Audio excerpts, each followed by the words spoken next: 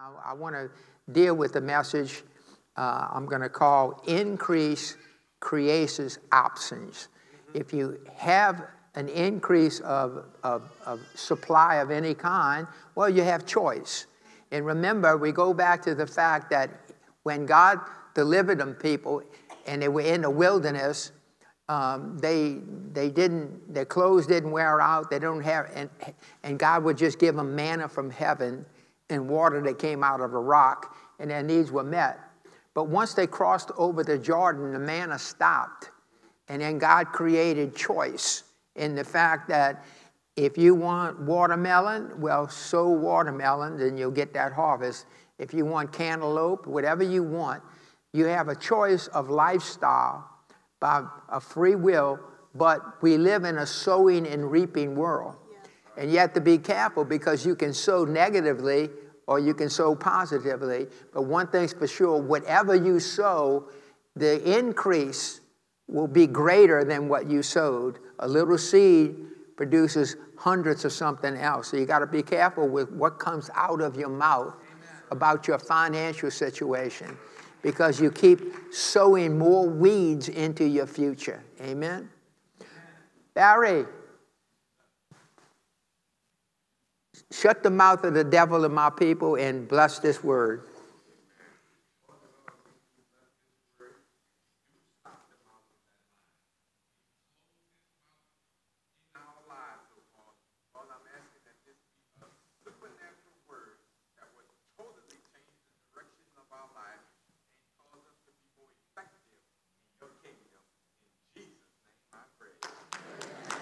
I did not realize they were going to sing that chain breaker song, but it's the perfect one. I want to read to you out of Acts 10:38. You're quite familiar. I guess it's probably my best, my most enjoyable scripture in the whole Bible where God anointed Jesus of Nazareth with the Holy Spirit and with power, who went about doing good and healing all who were oppressed by the devil, for God was with him.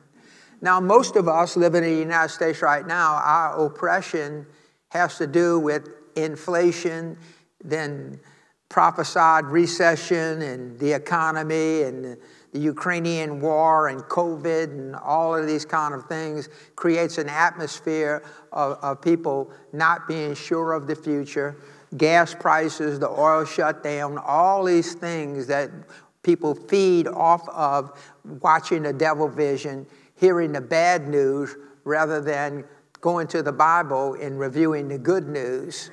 And you either live in a lost and dying, demon infested, sinful, anti Christ world, or you live in a stable kingdom of God that cannot be shaken under the King of Kings and Lord of Lords, where you rule and reign as a royal priest and as a kingly king with dominion over the devil, where even the gates of hell cannot stop you, where supply is guaranteed. So you can either live in the land of lack and woe and, and, and dread, or you can live in the kingdom of prosperity where God supplies your every need and wants to create a desire you have that your joy might be full. In Jesus' name. Okay. So I'm going to I'm going to start this outline, but remember at White Dove, if you are open to the Holy Spirit being the teacher, Mike's just going to do the natural thing to the best that I can, but expect revelation that is going to bypass the limitation of your mind and, and your habitual lifestyle and your false beliefs of your heart and uh, light up and feed your spirit so that you can have faith to believe the 7,500 precious promises that are already yes and amen instead of struggling in your mind how am I going to get through this? What am I going to do? All right, so uh, I'm going to ask you to beware of the demonic oppression over finances. You know, uh, to, to show you when a person seeks money, more money, when they even get more money, great sums of money, the greater the sum, the more they begin to uh, have fear and dread at night because they always fear lawsuits, they fear catastrophes, they fear theft, they fear that somebody's going to take their money from them Another thing that great riches does is it causes people to be suspicious of possible friends in agreement because they never know if the person really, really loves me or, or wants to get at my money. Uh, do you really want a fellowship with me or what my money can do for you? So then you begin, the more money you have, you, it's like going up a pyramid. You get to the point where the loneliest place in the world or the people with a lot of money because now they become paranoid or dread of losing everything. And then they can't really uh, enjoy relationships because they don't know what the motive of the heart of the person is. Follow that? So that's why Jesus told us don't bow the knee to mammon, but absolutely bow the knee to the Lord Jesus Christ. The Lord wants to give us the desires of our heart in prosperity for His name's sake the covenant with Abraham, it, it, that we would have the power, which means the ability to create great wealth, is to prove the covenant.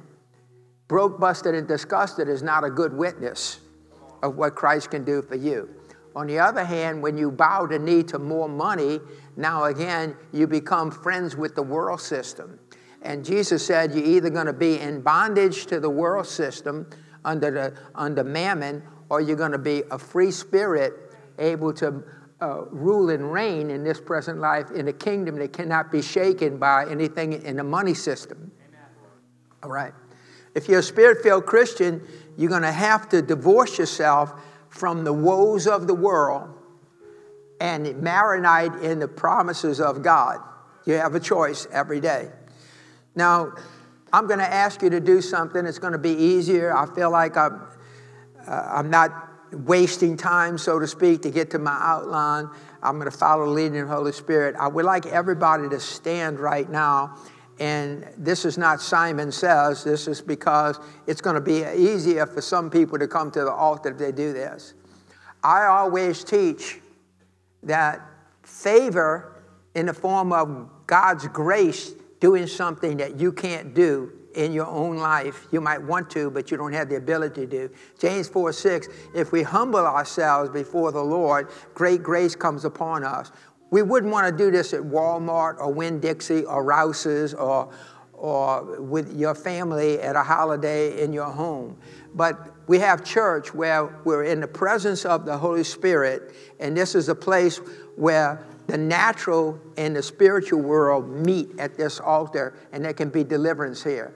If you are press, pressed by financial woes, if you don't think you'll ever get out of debt, if you have a desperate need of your finances, if you dread finances, if you need for that chain to be broken, the anointing breaks every yoke, where you can go from dread due to money uh, uh, facing bankruptcy, uh, foreclosure, whatever your, your, your deal is, if you run down right here, I'm going to give you some decrees. And that anointing is going to break the yoke because what comes out of your mouth, you're a speaking spirit. Now, look, forget everybody else. It's you that's going to go home to your bills. So, uh, this is your opportunity. This is not a dentist's office where we're going to put you in a chair, you're going to read a magazine and listen to elevator music. Uh, th- this is where you come and you get your yoke broken. The anointing breaks every yoke. I'm going to wait a few minutes so that you can get over your distress. But there's somewhere along the line you're going to have to wake up and say, you know what, I got financial woes and problems or worries, or I, I have. Uh, I, I don't know what I'm going to do, whatever your issue is, because God gave me a couple of decrees.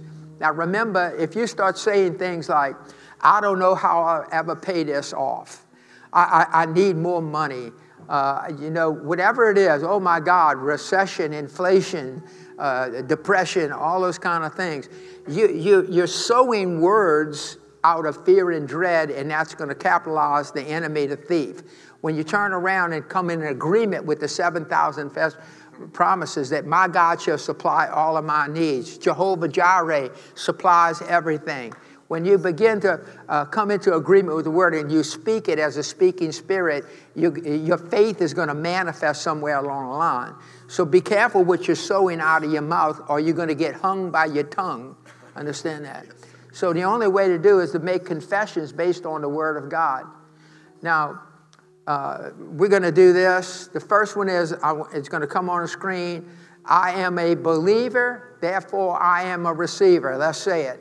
I am a believer, therefore I'm a receiver. How many are believing receivers, okay? Now, what you're going to have to do the next time you say, I don't know how I'm going to pay this, I, I don't know, it costs too much, I can't afford that, you're going to have to grab yourself by your foundation, pull yourself up, and say, I'm a believer, therefore I'm a receiver.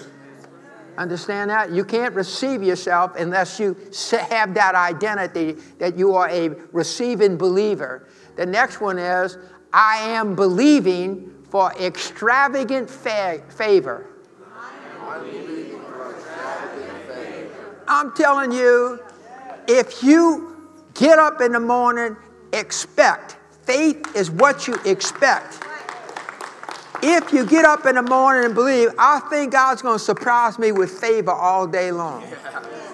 Now, if you want to believe for a little bit of favor, like all of a sudden there's a parking place, all of a sudden you tell her, bring me the check, oh, some people over there paid it. Uh, if you do not expect it, it's not going to happen because faith is what you are expecting to happen. And the Bible says, if and you pray, believe you have it when you pray for it, when you speak it, and come into agreement with it, because you got 7,000 precious promises that's a banquet table waiting for you. And it doesn't have, have beanie weenies on it, it's a banquet table, okay? All right. Now here's the big one. Put both hands up. I am believing for supernatural debt cancellation. Let's say it again. I am believing for supernatural debt cancellation. Now, supernatural debt cancellation means it's not natural. But how many people don't mind if lightning hits the computer and, and, and wipes it all out? Is it all right? I don't care how God does it. We want supernatural debt cancellation. All right.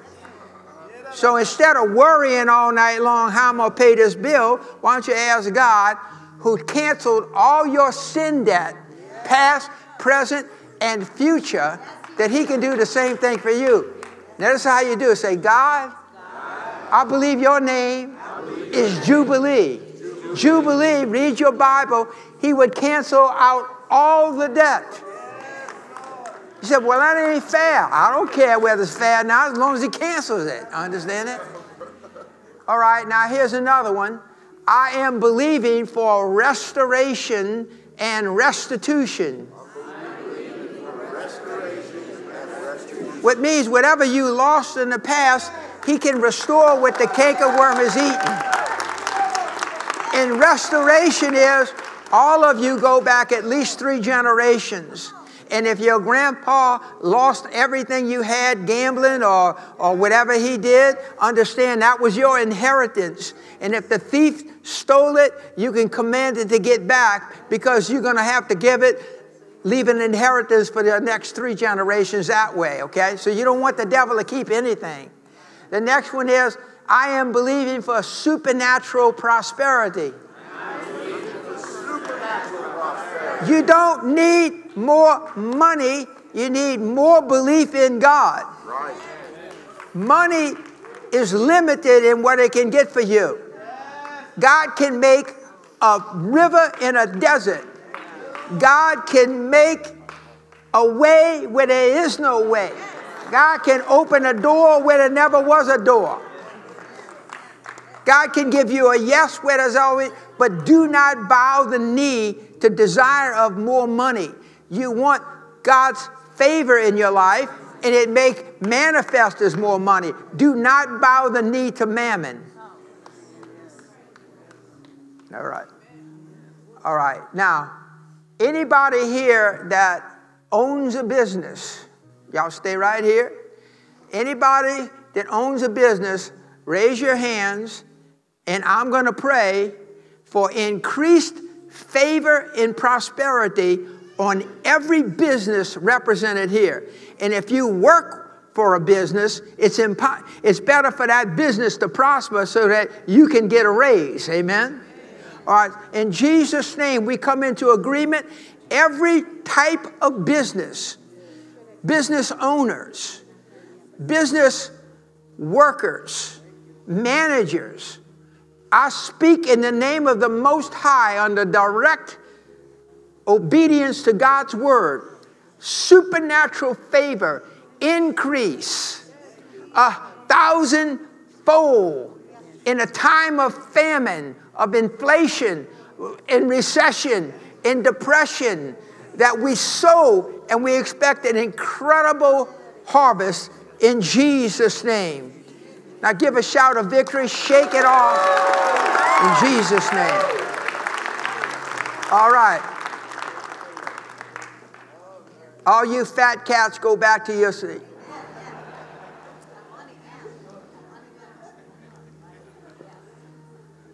We want to fight demonic oppression of lack and debt. Too many people walk the floors at night. There are too many uh, marriages and families that are unhappy and in trouble over financial problems and so on. I want us to move mentally, at least out of a lost and dying world, into the kingdom of God, which cannot be shaken. In the financial world, they're always talking about uh, money movements and so on, and this, this does this and so on, and the stock market goes up and it goes down. The kingdom is on a rock that cannot be shaken. You have to move out of the world, pack up, pack up, and move into the kingdom where all the promises of God are already yes and amen, and it does not change. It's stable. Exchange your woe and your worry for faith and joy. There's three things wisdom, knowledge, and joy are promised to a citizen in the kingdom of God. Now, Financial supply is a constant faith fight. Why am I saying? Because it's really in the natural world that you have to live in, it's one thing after another. I mean, things, things are in supply, they're in abundance, things happen, termites move in, uh, the battery dies. These things are going to happen all the time. But you see, when you only live in the moment that you're in, you're always in faith in the throne room with the king. If you allow yourself to move from the presence of God, you're going to react emotionally and mentally to the world. In his presence is the fullness of joy. You keep your mind stayed on Jesus and his promises, you have intoxicating joy, and supply comes to you. In the world, you're always reaching for something and you're always trying to protect something from loss. In the kingdom, it's always coming to you with no loss. Hebrews 11 6 says, Without faith, it is impossible to please God. For he who comes to him must believe that he is who he says he is. He's a faithful father I am a great grandfather now. I, am I'm, waiting on my any, any second now, maybe during this service, praise God. Uh, we're going to get the third great grandchild. As a grandfather, as a grandmother, as grandparents, we want the ultimate best for our children, and we are givers. God, we can't even imagine how much of a giver He is. He's given us joint heirship with Jesus Christ. That's, think about that. And He knows how raunchy and selfish we all are. And yet, that's how God loves us greater and wants to supply if we know He is a loving Father. He chose to call us His children and Himself a Father. When we can believe He is who He says He is, we can receive from Him and it's not dependent on what we do, it's, on, on, it's dependent on who we believe He is. Because you can't earn it, you have to believe it. Amen. If you can believe, all things are possible. But we keep trying to qualify ourselves to get His him, him to uh, be pleased with us. And we, it's always going to be, Thy faith has made you whole. And by faith you please God, nothing else. Yeah, thank you for the, the great applause there. This is not a one time thing. You come into the altar, that's not like I anoint you with the fairy godfathers, boom, and all of a sudden your life changes. We're talking about this is a moment to moment disciple thing where you're disciplined to have the mind of Christ, not the mind of the world. You want a mind full of faith that believes the promises of God, and you reject having the, the mind of fear and dread of what's going to happen next.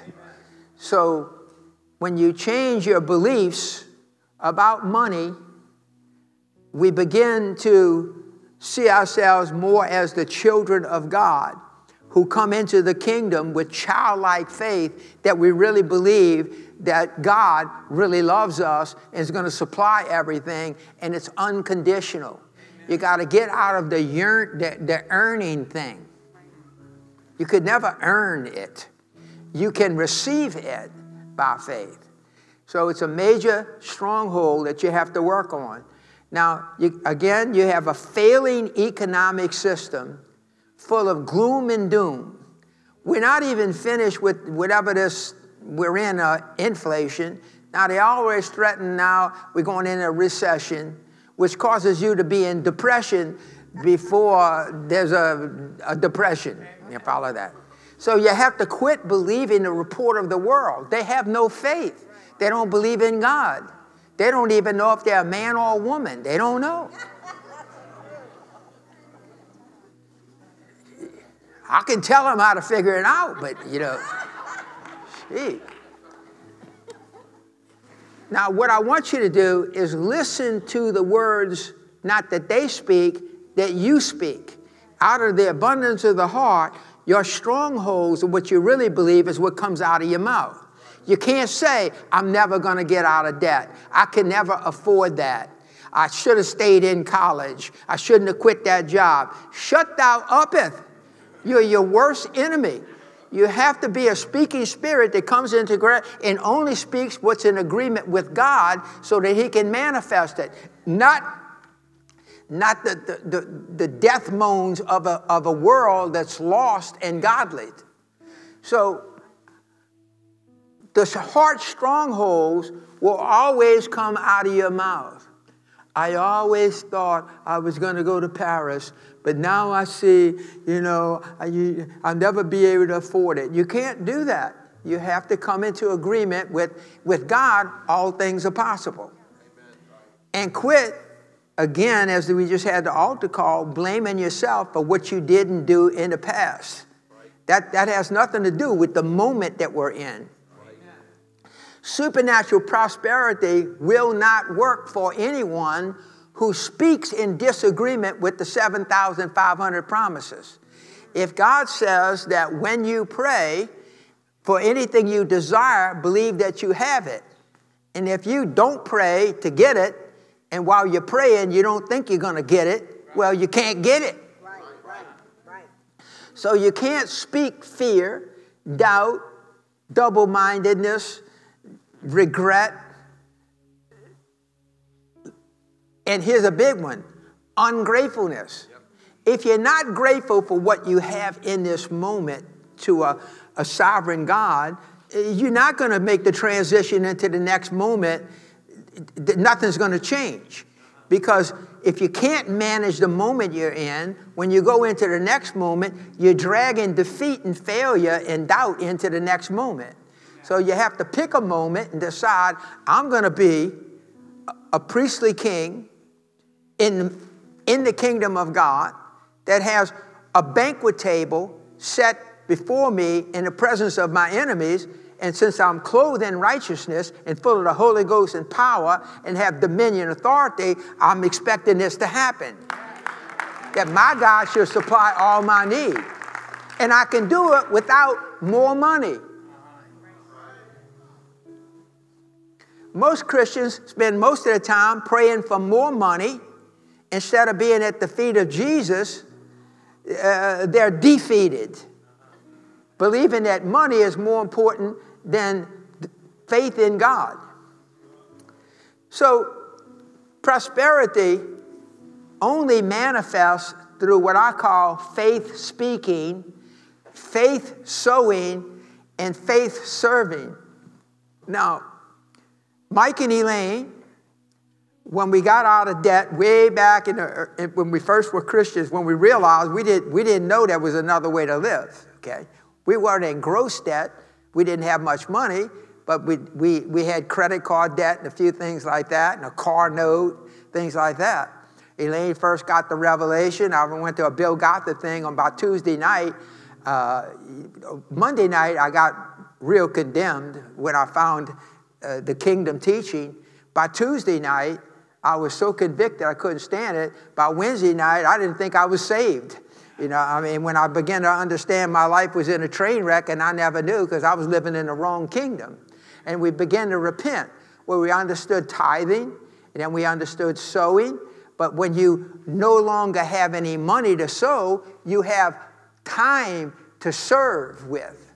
So when you, if you tithe and you can't afford the offering, what do you do with your time? You can serve. Now, there's an old principle in life, even in the world the more people you help to get what they want and need, the more you're going to get eventually what you need by helping other people, by serving other people. Now, let me tell you what Mike and Elaine do.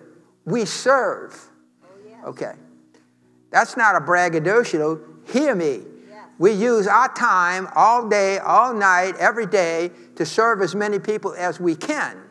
Therefore, the tsunami wave comes back over this way because when you don't have money, you have time to serve. People who don't serve anybody always have need. The more people you serve, the greater you're going to be rewarded supernaturally by, by God because that's how you do it. You sow money and you sow time in the form of service. That's why I applaud the people who come over here. You don't have to do that, but to clean toilets and vacuum and so on in the house of God, when you're serving, instead of sitting your butt on a sofa uh, eating, uh, uh, you know, homemade vanilla ice cream, watching the television, and then brooding over all your what you need. Yeah, I, I, I know I'll have few people next week. You know why? Like Paul said, have I become your enemy because I tell you the truth? So get your lazy butt up and serve somebody. You got that?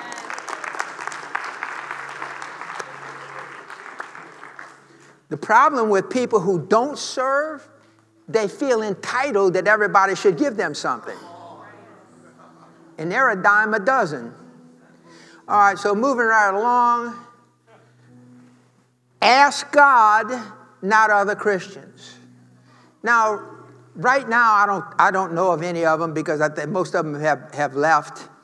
But we used to have people that would meet you in the foyer, in the bathrooms, and in a parking lot and tell you their bad things. Do you know what they are? They're Christian, Christian beggars, okay?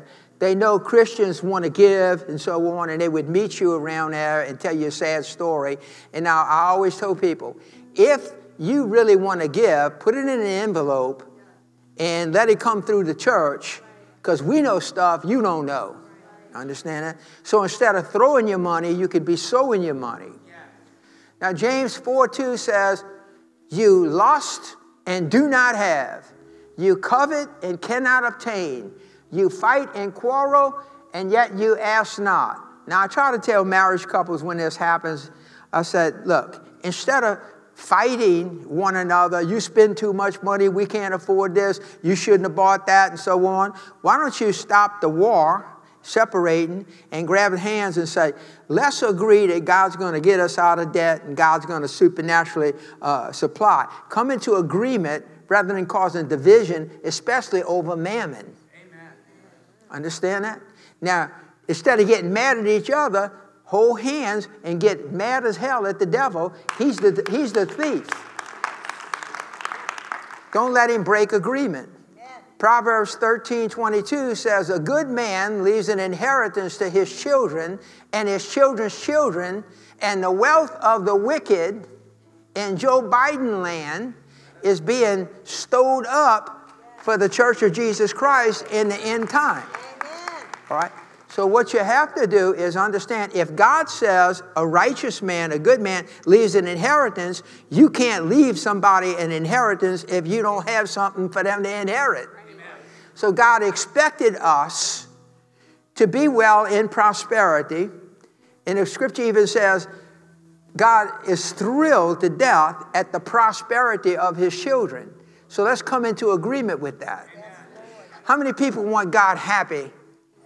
Okay, well then let him bless you in prosperity. I want him, I want him so happy he, he, he, he's almost flipping out the throne. Understand that? Ecclesiastes 2:26 May those who delight in my vindication shout for joy and gladness.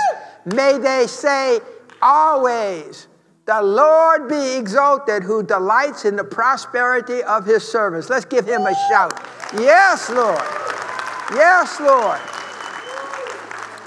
For God gives wisdom, Ecclesiastes 2:26. Now look, wisdom knowledge and joy. Ho, ho, ho. Wisdom, knowledge, and joy instead of dread and woe and oh my God, what are we going to do? To those who are good, meaning righteous in his sight, but to the sinner, he gives the work of gathering and collecting so he can give it back to the righteous. What a scripture! What a scripture. All right, let's move on. Give, give me a. Okay. What do you know about money and finances? Well, I know I owe. I owe, I owe. So off to work I go. You remember the, the little dwarfs? Okay. Everybody needs biblical skill to obtain and keep financial supply. Why is that? Most people, if they get anything, they're not good stewards and they lose it quickly. I just read an article that showed all of the celebrities and NFL players who amassed hundreds of millions of dollars and they are totally bankrupt today. You know why? They didn't know how to handle money in the first place. They had a skill and a talent that caused them to get money, but they couldn't manage it. Now, God says that He's going to give you something, and if you steward wisely, more comes. But if you're not faithful with the little, He takes the little and He gives it to somebody that will honor it and steward. Everything is about sowing and reaping, and then managing, stewarding the harvest, recognizing that all, A L L, all of it belongs to God. Not some of it, not 10% of it, all of it belongs to God. Why?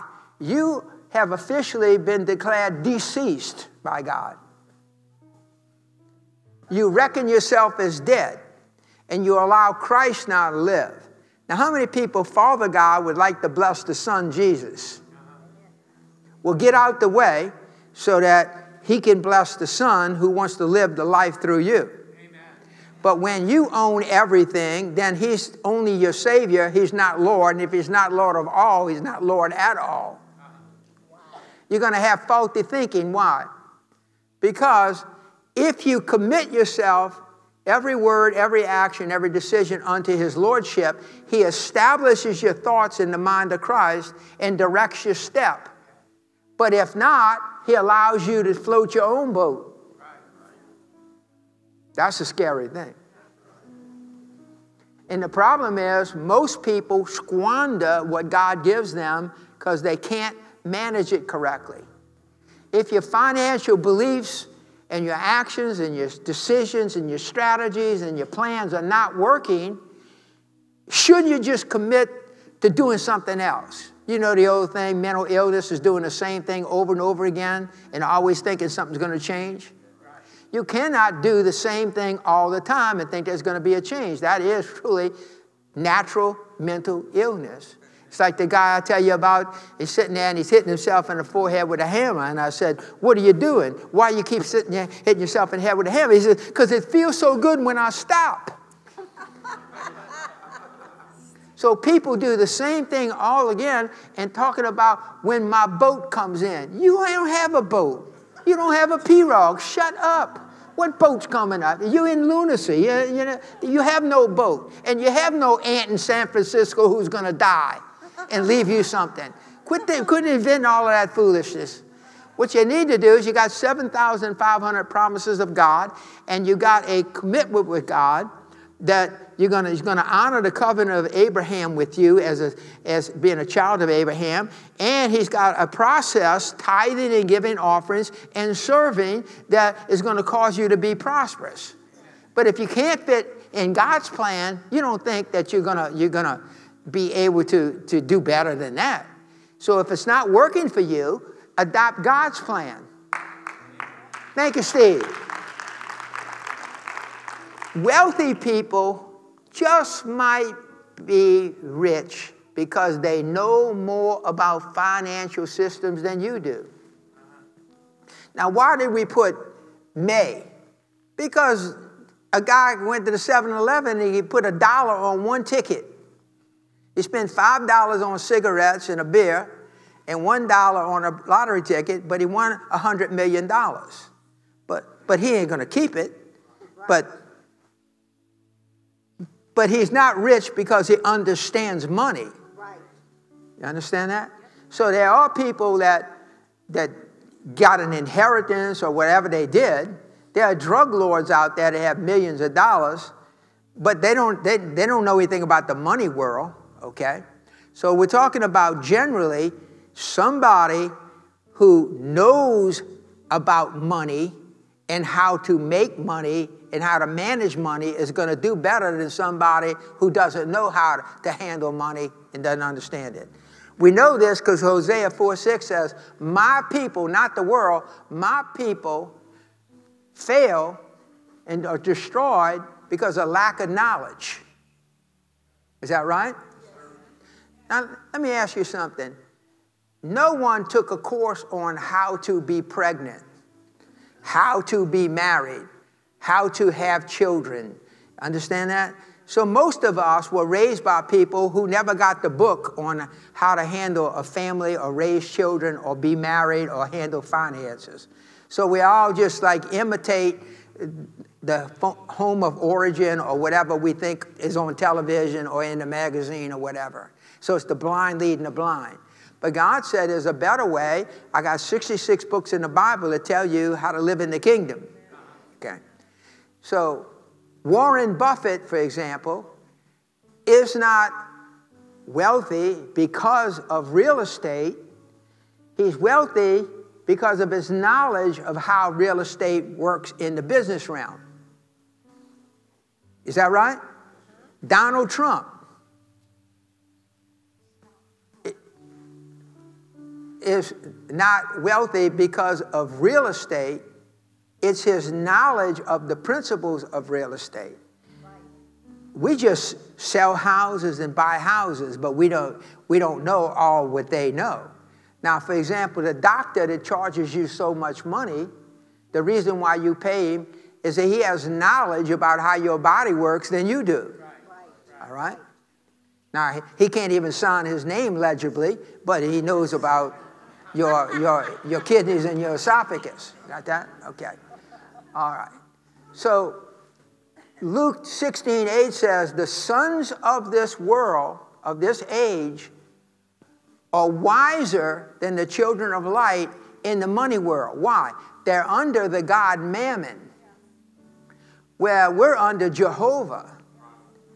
And we don't know anything about that world. And so, consequently, you can be lied to, sued, uh, in debt over the world system because they are creatures of darkness. I always say this. My brother and I lived uh, in old Algiers, and there was the Folly Theater in Ab- Avalon. And they would have a Saturday morning matinee. So we would walk together from my dad's seafood market down the street to go in the matinee. So we pay our dollar and go in to watch the matinee. And when we go in, as soon as they open the doors and you go into the theater, you couldn't see anything. I mean, because we were in light and we went into the darkness. But the people that were already in the place, they, they could see popcorn on the floor or quarter on the floor because they were already in darkness, so they had better sight than people that were in the light. We in the light don't function well in their world. This is why the corrupt congressmen and senators and all amass millions of dollars because they are creatures of the darkness. Yes, yeah. And they live in, the, in that money world, understand, of, of wealth for ill gotten gain. Where a Christian, that's a foreign world. God wants us to be in the kingdom of light where we understand money and prosperity according to God's righteousness for the proper use because we don't do well in a world that we be blinded by because our, our light causes us to be blinded in that world. All right? Now, in Romans 12, 1 through uh, 2, I appeal to you, brethren, by the mercies of God, to present yourselves as living sacrifices, holy and acceptable God, which is the spiritual worship. Do not be conformed to that world. Because if you do, you will marinate in that world and you will pick up beliefs that become strongholds that limit you because God does not want you successful in that world because God is a jealous God. You will destroy your eternal potential by excelling in that world. It will be temporal gain only, but you will lose, lose eternal reward because you're functioning in an illegal world. You should be a pilgrim passing through a world that is not your home. So we don't need a new job, a new wife. We need a new mind that has God's knowledge and wisdom and joy in it, which is the mind of Christ. So you can't figure your finances out only in your mind. God's not going to allow that to happen because God does not want you fornicating and adulterizing with another system. That's why He tells you you either love mammon or you love Jehovah. So before external financial success, we must change our internal financial beliefs about getting money, maintaining wealth, and about wealthy people. Now, I've told people before if you watch television and you see somebody laying hands like Benny Hinn uh, in a healing thing, and you go, Oh, I don't believe that. That guy's a shyster. That's not true. Well, don't expect to get a healing from God. And if you look at Jesse Duplantis and say, oh man, that guy's a thief, man, I tell you, I don't believe in that prosperity, man. Well, you'll save your pennies because you're not going to be prosperous. Be careful what you judge. When you grow up and think, all lawyers are crooks, well, you never went to law school. How do you know? Okay?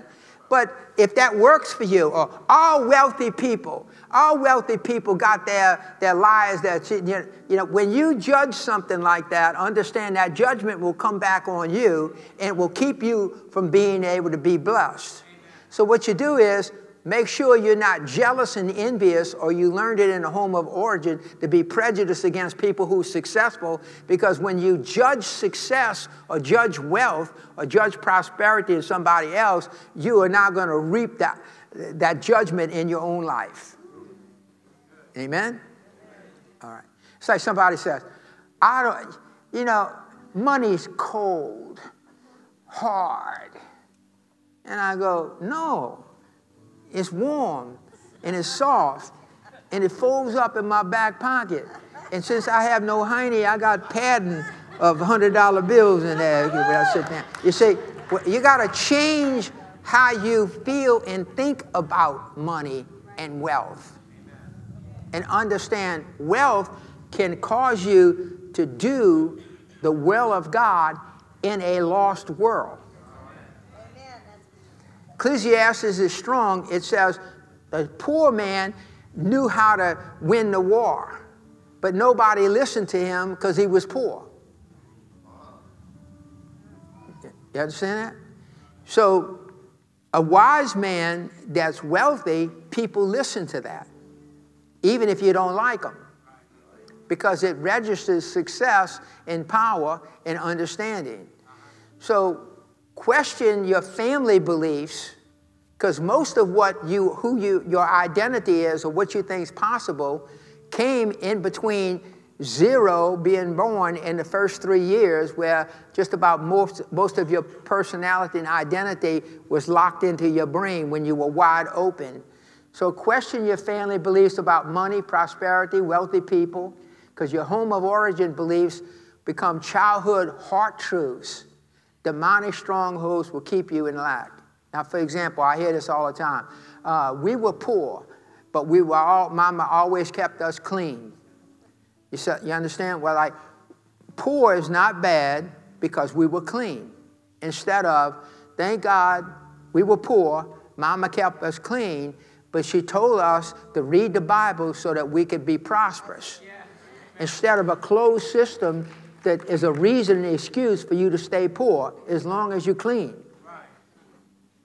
You understand that?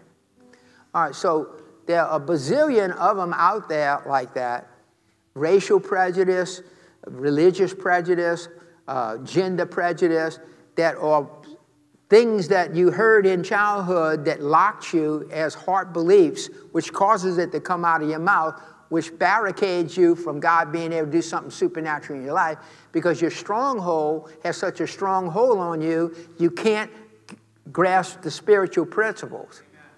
So you're locked in.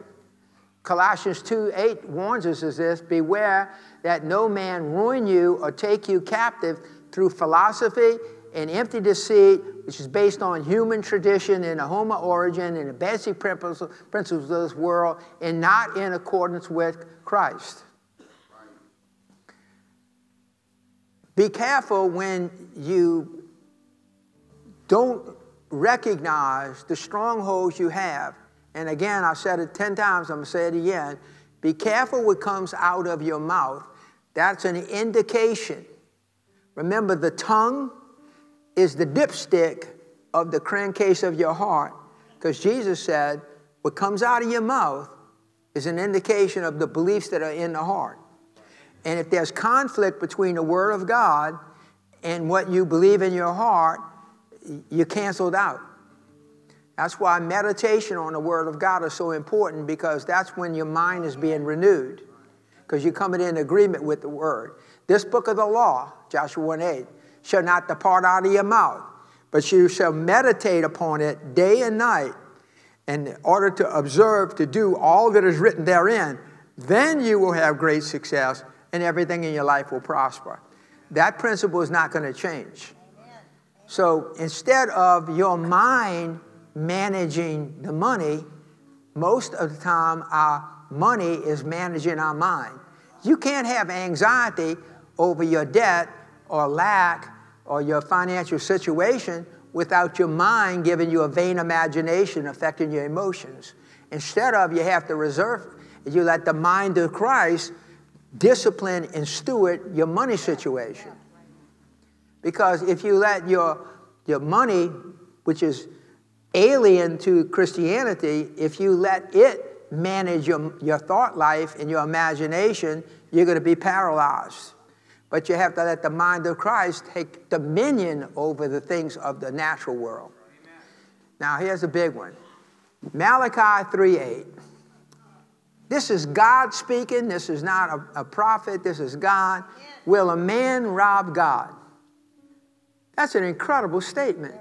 Well, a man, does a man have the gall to rob God? And here's it you are cursed with the curse. Let me tell you, it's a, that's a bad thing to have God put a curse on you. The ultimate authority put a curse on you because you're robbing God. And he goes, Yet you're still robbing me. Bring the full tithe. Why? People say, I tithe. They don't really tithe. You see, they, they, that tithe is based on how much they really want to want to give. And, they, you know, they, people, I hear from people all the time, look, when I get my check, should I gross tithe Or should I just net tithe? That see, that's a justification in the mind that I don't want to pay the full tithe because you know I got to give some to income tax. I have to do this. No, I understand. Number one, it ain't yours. If you're a Christian, everything that you have, including your breath, already belongs to God. You sold out, and dead people don't. They don't. They, they don't own anything. Right? So bring the full tithe into the storehouse so that they may be abundance in my house. Test me, prove me, says the Lord, if I not open windows of heaven and pour out for you blessings without measure, I will rebuke the devourer for you. Now go all the way down to the last word. Instead of God putting a curse on you, God turns around and blesses you by stopping the thief and the devourer. I said to a man, Do you know where your money goes? He says, Yeah, away. Another guy said, I said, You know, the Bible says money answers every, every, every, uh, everything. He goes, Yeah, mine says goodbye.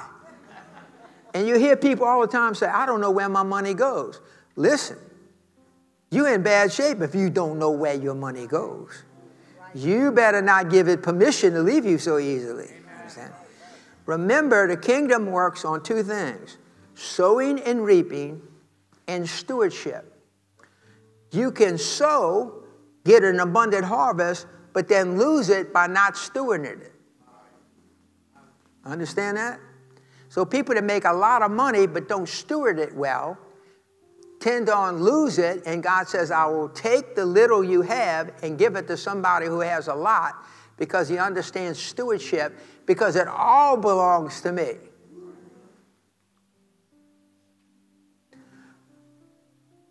The tithe is what rebukes loss, and it's the offering that welcomes prosperity. Now, when Elaine and I were first getting out of it, we went to the Bill Gothard thing and we realized that, that we were out, out, of, out of order there. We weren't bad people, we just did, didn't know. We, my people perished for lack of knowledge. So we knew immediately to tithe. And then certainly Elaine got the vision on giving offerings because if you tithe, that's great, but that just makes you not a thief, not cursed, and just even. But there's no prosperity in it because you're not sowing.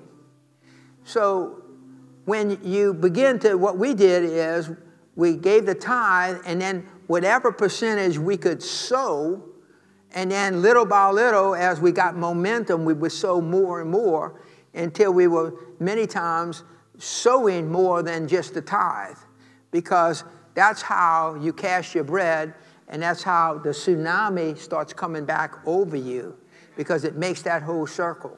All right? And you get to the point where the scripture says that the reaping and the sowing is like in one action that you can't you can't reap sow as fast as you're already reaping the harvest because you begin to get momentum but you can't stop and god showed me because i had a flatboat aluminum flatboat i'm going 45 miles an hour down the bayou as long as i'm doing that that boat's up and i'm moving but if all of a sudden the engine killed all the back weight comes up and sinks the boat well, and the positive thing is the more you sow in your bread across the water, eventually there's a tsunami that overtakes you. And the Bible says it will overtake you, the blessings will overtake you.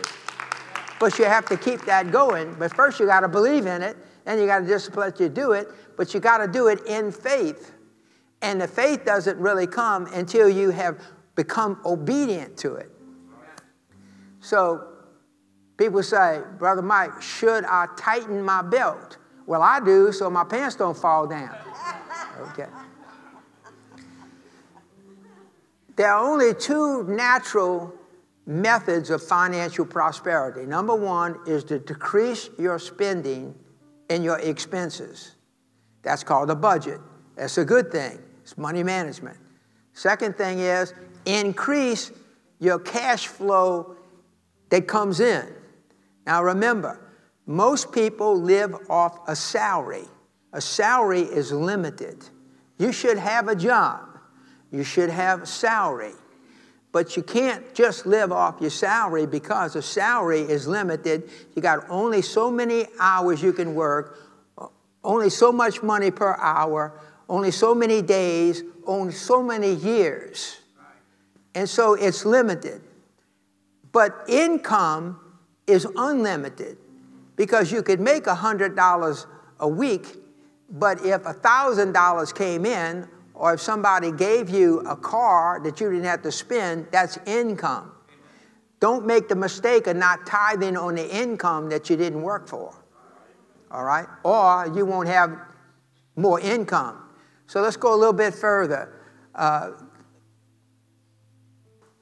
budgets have limitations because budgets are based on salary.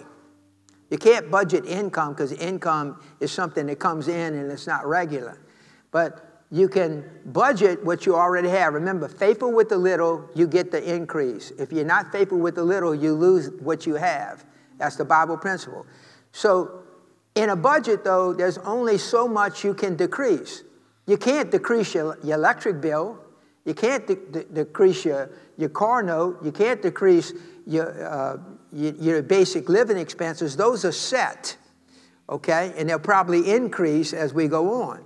So, when you do that, that's a way of doing it, but you get to the point where you still don't have enough to move into prosperity. And when you are decreasing your spending, you're probably going to uh, limit the, the lifestyle that you really want to have. You understand that? You really want to have this lifestyle, but you can't afford it. Well, when you budget, to be able to get out of debt, then you have to decrease that lifestyle. And a lot of people don't want to give up something. Understand that? They feel like I, we, we this is what we do, and they have an entertainment uh, uh, uh, part of their budget. So God promises lifestyle choice by sowing and reaping. So, in other words, you sow in the lifestyle, the type of lifestyle, until you get a harvest in that area. If you want cantaloupes, you don't plant broccoli seeds. So God gave choice. You plant into the lifestyle, but you sow, it looks like it's gone, but then you get a harvest somewhere out there in Never Never Land. Many people can't wait that long. So budgeting is good money management because God blesses stewardship. expectation of deliverance from lack and debt could limit the marital and family frustrations that you go through by budgeting. When you call a family together, we can't do this, we won't go on vacation this year. Oh, you said we are going to go to Disney World. Yeah, well, we, you know, we're going to save money, we can't go now. Now, here's the deal when you realize without a vision, the, the, most of the King James says, people, the, without a vision, but the, the, the original Hebrew says this without a vision, people cast off restraints. They get sloppy. Oh, there's no hope. So if you have a vision of prosperity, supernatural prosperity, you can get everybody together and come into agreement that this is going to happen. And so the grace comes upon you, whatever you have to sacrifice, because you know where you're going. So we say, oh, we are, we're going to go to Disney World Friday. What do we have to do? Well, I got to cut the grass. I got to do this. You know, so everybody gets together and they do whatever they need to do because they, they want to go, they want to do that. Well, you have to have a godly vision of being out of debt and being prosperous and doing kingdom work so that everybody has the grace to move in that sacrificial thing. So Proverbs 10, 14, and 15, wise people store up knowledge, but the words of the foolish is near to destruction. The rich man's wealth is his strong fortress. The destruction of the poor man is his poverty. Now, what is he saying? It, it comes out of the story in the Bible. It says, there was a war going on, the enemy was coming. And a poor man had a word of knowledge. He had the plan on how he could save the city from the destruction. But because he was poor, nobody listened to him. If he'd have been a rich man, they would have listened to him. Well, God's saying the world is not going to listen to us if the church is bankrupt. Understand that? That's why the wealth of the wicked is going to be transferred to the church because the church now is going to have the gold and the golden rule. He who has the gold rules. Everybody understand that? All right, so let's talk about the fact that a poor person is poor because their poverty is their bankrupt thinking. Understand? They don't have the mind to be able to steward money and they have no expectation. So if you give them money, they won't spend it wisely, and, but they will still have entitlement that somebody else needs to take care of me. So instead of serving, they're always waiting to be served, and they're resentful for anybody who doesn't serve and give to them. That's a demon. Yes. All right. Let's talk about supernatural supply, and I'm going to close this till next week. Mark 11, 24. Whatsoever things you desire when you pray, believe that you have them and it will be yours. Now, this is the Word of God. This is not Zig Ziglar. This is not some writer of a book. The Word of God says, if you desire something, now remember, God says He will supply our needs. Philippians 4:19 in abundance so that we have some to tithe and give away. He gives us the same amount of time each day to serve other people. So we sow and we serve our way into prosperity. But then God says, when your need is met, you just have relief until the next time you need something. But when you have a desire that, that maybe even money couldn't buy, your joy might be full. So God's guaranteed our need if we can believe that, but also if you can desire it and believe that God is who He says He is, you can receive it so that the joy of the Lord now becomes your strength to do anything that you need to do. Amen. So it's your yearning power, not just your earning power. Earning power is limited. Yearning power is unlimited. So it's the idea of salary versus income, but what you want is salary plus income. For example, I can afford to go to Z's, take Elaine a lunch. I can't tell you how many times we go to, out to a restaurant because we pray first, we know where, where we're going, and I go to pay the bill, and somebody I don't even know who paid the bill. That's just a little thing. I could afford it, I had the money in my pocket but it's the joy of the Lord blessing us with favor. Understand that? Now, the Bible says there are houses you didn't buy and mortgage, there are wells you didn't dig, there are orchards you didn't plant that can be given to you where God just does this to money and He just gives it to you. Okay? God wants to show and be glorified over His authority over, um, over mammon. So a regular salary is designed to pay your cost of maintenance. Supernatural increase creates options and opportunities in the lifestyle. All right. Last word your financial growth is completely, completely dependent upon your belief growth. The more you can believe God and expect that you have it, the more favor with God supernatural happens because it shows again the confirmation of the covenant with Abraham that he gives us the ability to create great wealth. Why? That the kingdom of God might be exalted. Last scripture, John 3. 3 uh, John uh, 1 and 2. Beloved, I pray that you may prosper and be in health, even as your soul prospers. I preached this one time, and a man said, Man, that's just a salutation in a letter. I said, Well, it is to you. To me, it's a promise. Okay? So it's either just a salutation to a letter, or it's the word of God, and I reply, as my faith is, so be it unto me. Would you stand, please? We're going to take this back up next week.